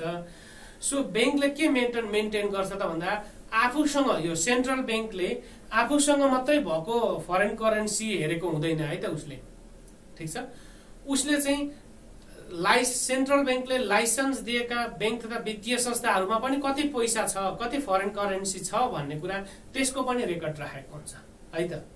सो त्यो ओभरअलमा कन्ट्रीमा कति छ त फरेन करेन्सी अथवा सेन्ट्रल ब्याङ्कको एक्सेसमा कति छ त फरेन करेन्सी भन्ने कुरा चाहिँ जेनरलले जुन अथवा अथवा यो ब्याङ्किङ सिस्टममा कति छ फरेन करेन्सी भन्ने कुरा चाहिँ जेनरली यो फरेन एक्सचेन्ज म्यानेजमेन्ट अन्तर्गत नै आउँछ। अब एकचोटि सरस्वती यसको डेटा हेरौँ। अहिले कति छ त भन्ने कुरामा? डेटामा तपाईँहरूलाई यो त्यत्रो डेटै राख्नुपर्ने त होइन तर डेटा सहित हेरियो भने चाहिँ अलिकति बिर्सिँदैन होइन? सजिलो पनि हुन्छ बुझ्न भनेर हो। मैले यो मेटेँ है।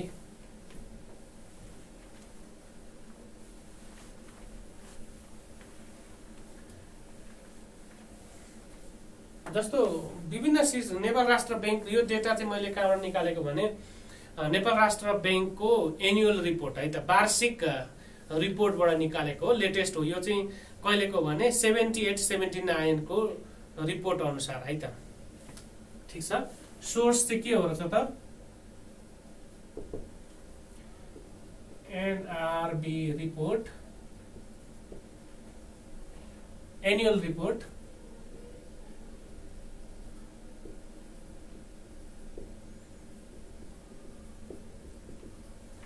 यो अनुसारको डेटा हेरौँ है त? जस्तो सेन्ट्रल ब्याङ्कले हेल्ड गरेको सेन्ट्रल ब्याङ्कले होल्ड गरेको सेन्ट्रल ब्याङ्कसँग रहेको एउटा एमा लेखौँ।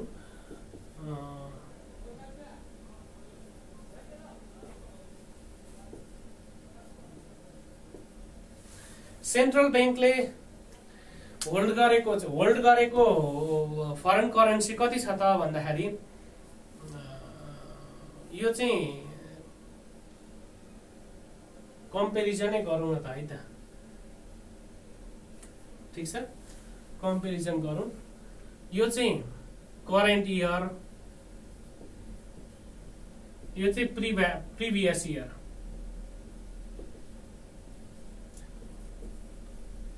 यो यो वर्षको यो अघिल्लो वर्षको है। यो यो वर्ष भनेर चाहिँ सेभेन्टी एट सेभेन्टी नाइनको यो त्योभन्दा अघिल्लो सेभेन्टी सेभेन सेभेन्टी एटको चाहिँ त्यो भयो है त। जस्तो कन्भर्टेबल फरेन करेन्सी एउटा चाहिँ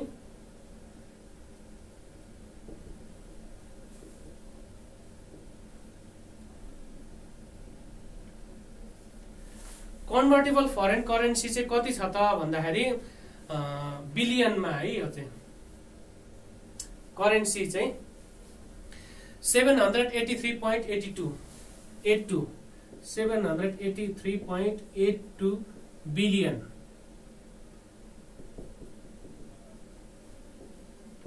Nepali रुपियाँ होइन? Seven hundred eighty two eighty three point eight eight two billion छ। यो चाहिँ अगाडि कति थियो त भन्दा nine hundred thirty two point two five थियो। Nine hundred thirty two point two five थियो। त्यो पनि बिलियनमा हो है। अर्को जस्तो non con non convertible foreign currency होइन? Non convertible non convertible foreign currency कति रहेछ त भन्दाखेरि यो वर्ष चाहिँ two hundred seventy two point five eight होइन? Two hundred seventy two point five eight billion भने अघिल्लो वर्ष चाहिँ अघिल्लो वर्ष चाहिँ three hundred eighteen point seven two three hundred eighteen point seven two billion रहेछ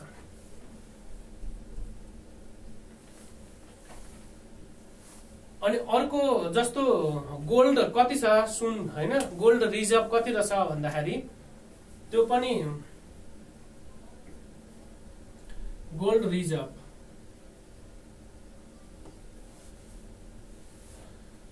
गोल्ड रिजर्भ चाहिँ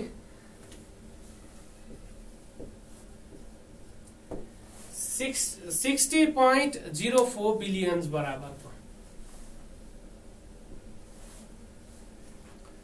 अघिल्लो वर्ष चाहिँ सिक्सटी पोइन्ट टू सेभेन है त? अघिल्लो वर्ष चाहिँ sixty point two seven billions बराबरको रहेछ यो चाहिँ स्टेबल मेन्टेन गर्न खोजेको रहेछ होइन? अब स्पेसल ड्रइङ राइट्स मैले एसडिआर भनेर भने कति रहेछ त भन्दाखेरि यो वर्ष जस्तो twenty five point five seven twenty five point five seven billions बराबरको चाहिँ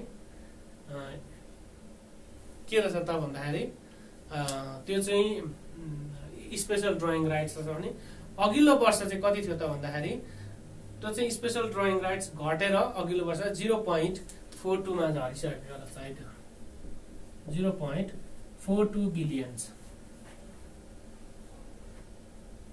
ठिक छ अब यो चाहिँ सेन्ट्रल ब्याङ्कले हेल्प गरेको बीमा हेल्प बाई बिएफआइएस गरौँ है त। होइन ब्याङ्क सरले।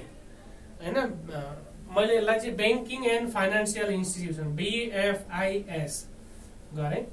यिनीहरूले हेल्प गरेको चाहिँ कति रहेछ त भन्दाखेरि यिनीहरूसँग चाहिँ कन्भर्टेबल करेन्सी र नन कन्भर्टेबल करेन्सी हुन्छ।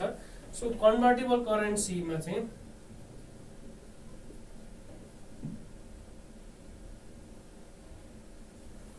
कन्भर्टेबल करेन्सी कति रहेछ त भन्दाखेरि one hundred thirty four point zero six one hundred thirty four point zero six billion यो करेन्ट इयर भने अघिल्लो इयर चाहिँ one hundred thirty seven point nine four one hundred thirty seven point nine four billion non convertible non convertible करेन्सीमा जस्तो यो वर्ष यो सबै foreign करेन्सीमा है त? यो वर्ष nine point six eight billion billion हो वर्ष कति रहेछ त भन्दाखेरि one sixteen point four five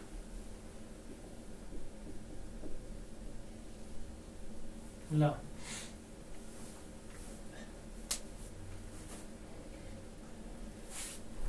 अब टोटलमा टोटलमा कति आयो त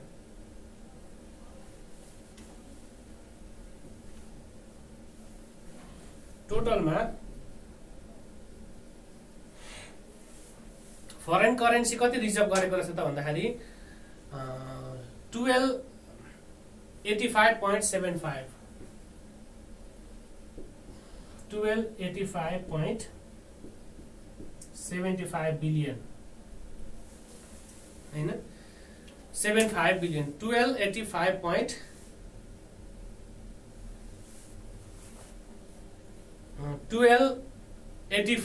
seven five billion भनेको मतलब बाह्र खर्ब पचासी अर्ब पचहत्तर करोड। त्यति नेपाली रुपियाँ बराबरको चाहिँ फरेन करेन्सी छ। बाह्र खर्ब पचासी अर्ब पचहत्तर करोड बराबरको यसपालि रहेछ अघिल्लो वर्ष कति रहेछ त भन्दाखेरि fourteen sixty eight zero four fourteen sixty eight zero four billion अघिल्लो वर्ष चौध खर्ब अडसठी अर्ब चार कन् चार करोड है त? त्यति बराबरको चाहिँ के रहेछ त? फरेन करेन्सी रिजर्भ रहेछ। फरेन करेन्सी रिजर्भ रहेछ।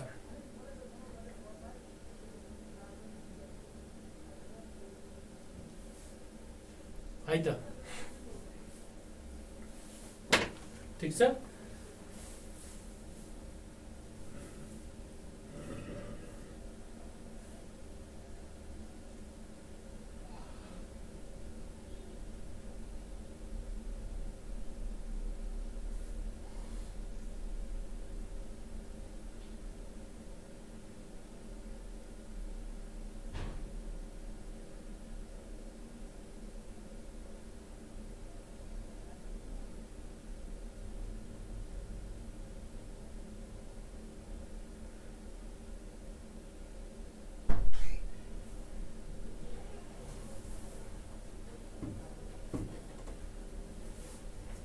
Okay.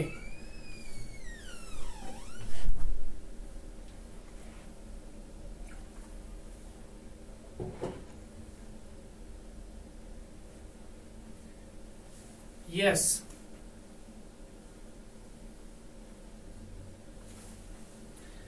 SDR SDR zero point four two billion हो है त प्रिभियस इयरमा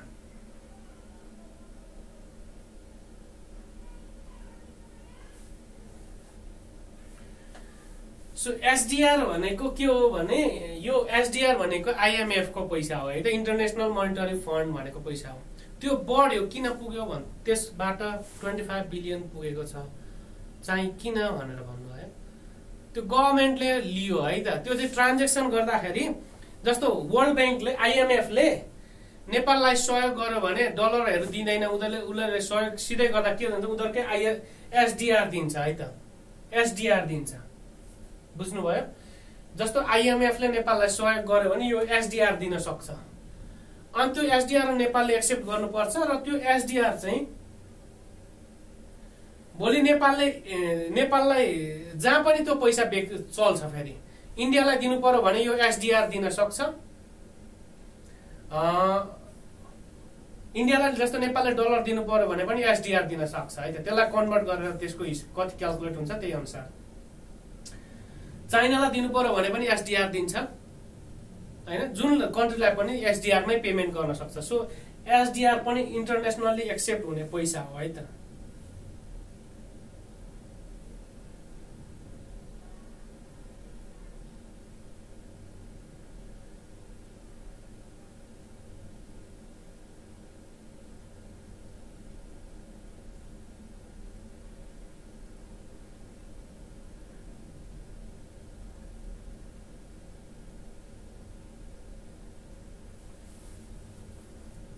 Okay. So okay. Uh, उमाजीले नन कन्भर्टेबल भन्नुभएको छ। जस्तो हाम्रो त्यो तपाईँहरूले कहिलेकाहीँ न्युज न्युज पेपर हेर्नुभयो अथवा हाम्रो पात्रो विभिन्न ठाउँमा अहिले त पाइन्छ अथवा वेबसाइटमै पनि हेर्नुभयो भने त्यहाँ बिसवटा एक्काइसवटा करेन्सीहरूको चाहिँ एक्सचेन्ज रेट राखेको हुन्छ। जस्तो विभिन्न देशहरूको एक्सचेन्ज रेट राखेको। ती देश देशबाट पैसा आयो भने नेपालमा एक्सचेन्ज हुन्छ। त्यो देशभन्दा बाहिरको पैसा आयो भने नेपालमा एक्सचेन्ज हुँदैन जस्तो मानिलिउँ। पेरु पेरुबाट पैसा नेपालमा आयो भने मेक्सिकोबाट लेट्स मेक्सिकोबाट नेपालमा पैसा आयो भने अब त्यो पैसा मेक्सिकोको पैसा नेपालमा एक्सचेन्ज हुँदैन। सो सिम्पली के गर्छ त भन्दाखेरि त्यो चाहिँ कि त डलरमा ल्याउनु पर्यो कि त अरू एक्सचेन्ज हुने होइन जुन बिस बाइसवटा जति सेन्ट्रल ब्याङ्कले भनेको छ त्यसमा चाहिँ एक्सचेन्ज हुनुपर्ने हुन्छ। तर कतिपय केसेसमा के हुन्छ त भन्दाखेरि त्यो एक्सचेन्ज नभए पनि नेपालमा चाहिँ त्यो पैसाहरू आइरहेको हुन्छ है त सेन्ट्रल ब्याङ्कमा आइरहेको हुन्छ। त्यो पैसा चाहिँ नन कन्भर्टेबल भनेर यहाँ अहिले चाहिँ त्यति नै सिम्पल सिम्पल भाषामा त्यति बुझ्नुहोस् तर यसका धेरै कुराहरू छन् है त कन्भर्टेबल नन कन्भर्टेबल हामी अरू क्लासमा हेरौँला है त अर्को क्लासमा हेरौँला त्यहाँ टपिक आइसके पछाडि होइन? ठिक छ? सो यसमा चाहिँ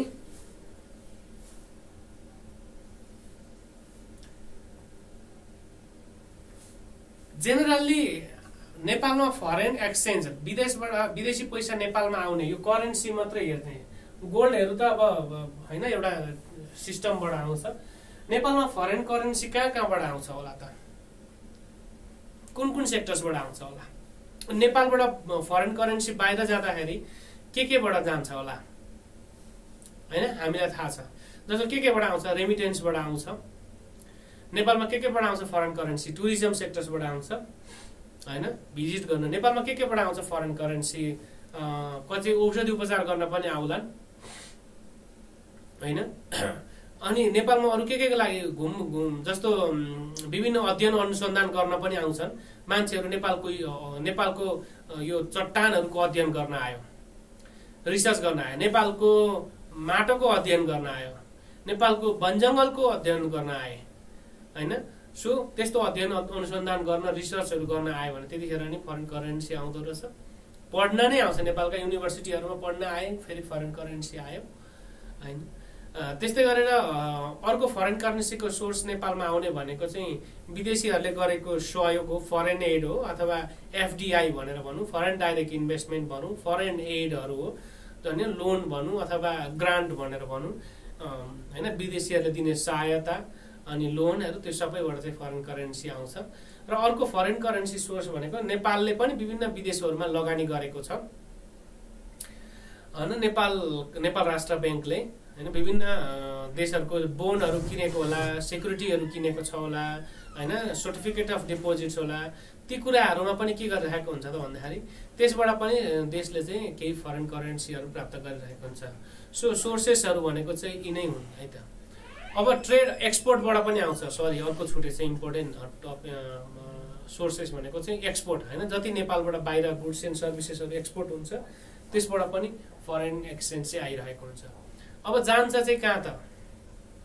ट्रेडमा जाँदो रहेछ। हामीले इम्पोर्ट गर्दाखेरि इम्पोर्टमा जान्छ होइन? यहाँबाट पनि रेमिटेन्समा रेमिटेन्सको रूपमा बाहिर जान्छ। अनि बाहिरबाट विदेशीहरूले यहाँ इन्भेस्टमेन्ट गरेका छन् फरेन डाइरेक्ट इन्भेस्टमेन्ट होइन? त्यसमा चाहिँ उनीहरूले अब नाफा आइसकेपछि उनीहरूले रिपेट्रिएसन होइन नाफा पनि लग्नु पर्ने हुन्छ। उनीहरूले नाफा लाँदा नेपालको पैसामा लाँदैनन् फरेन करेन्सीमै जान्छ। जस्तो एनसेल एउटा विदेशी कम्पनी हो होइन? विदेशबाट आएको फरेन डाइरेक्ट इन्भेस्टमेन्ट हो। युनिलिभर फरेन डाइरेक्ट इन्भेस्टमेन्ट होला। त्यहाँ आएको त्यसबाट आएको प्रफिट चाहिँ उनीहरूले बाहिर आफ्नो देशमा लान्छन्। त्यतिखेर डलरमै लान्छन् अथवा उनीहरूले कुन करेन्सी भन्छ त्यो करेन्सीमा लान्छ। होइन? जेनरली युएस डलरमा लान्छ। युरोप युरोमा ला लग्ला। त्यो चाहिँ के रहेछ त भन्दाखेरि त्यो सोर्सेस रहेछ। विद्यार्थीहरू यहाँबाट चाहिँ पढ्न जान्छन्। तिनीहरूले पढ्न जाँदा फी बुझाउनु पर्ने हुन्छ। अलिकति साथमा लिएर जानु पर्ला। त्यो पनि फरेन करेन्सीमा जान्छ। अनि यहाँबाट औषधि उपचार गर्न बाहिर लग गइन्छ। त्यहाँ पनि के गरिन्छ त? अनि घुमफिर गर्न गइन्छ। त्यसमा पनि के गरिँदो छ त? फरेन करेन्सी नै रिजर्भ गरिन्छ अथवा खर्च गरिन्छ।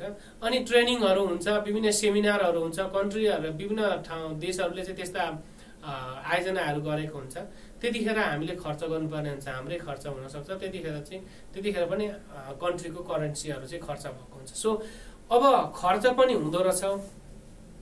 आम होइन?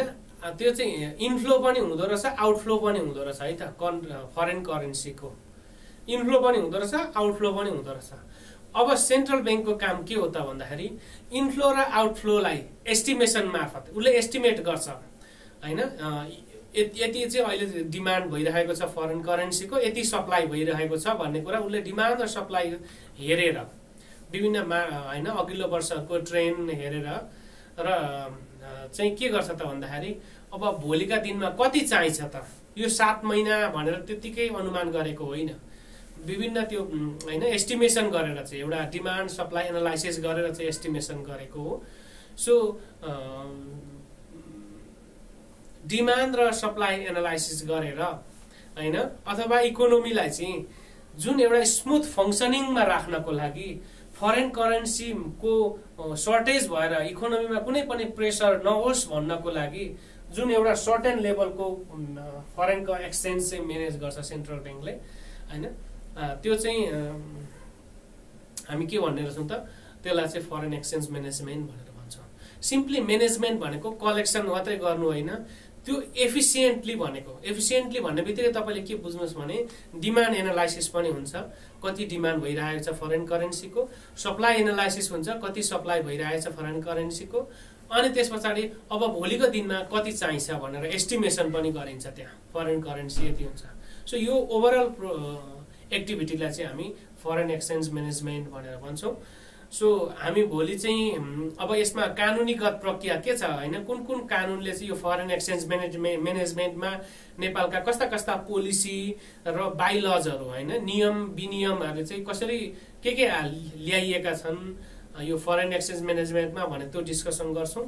अनि प्लस नेपालमा चाहिँ अलिकति हिस्टोरिकल होइन? अलिकति अगाडिदेखि नै कसरी यो फरेन एक्सचेन्ज म्यानेज गर्दै आइएको छ? प्र्याक्टिस के छ? हिजोका दिनमा कसरी म्यानेज गर्दै आइयो भन्ने कुरा अथवा हिस्ट्री भनौँ न त्यो हिस्ट्री हेर्छौँ। अनि त्यस पछाडि बल्ल अहिले करेन्ट अवस्थामा चाहिँ कसरी प्र्याक्टिस गरिरहेको छ यो फरेन एक्सचेन्ज म्यानेजमेन्टमा म्यानेजमेन्टमा भन्ने कुरा अनि हामी जान्छौँ। र त्यसका इम्प्याक्ट्सहरूमा पनि हामी हेर्छौँ। त्यसको स्टेप्सहरू अथवा फरेन एक्सचेन्ज म्यानेजमेन्टका स्टेप्स अथवा प्रोसेसहरू पनि हामी हेर्छौँ। है त आज यति नै गरौँ। बाँकी अर्को क्लासमा चाहिँ हामी डिस्कसन गरौँला। तपाईँहरूको एक्टिभ पार्टिसिपेसनको लागि थ्याङ्क यू सो मच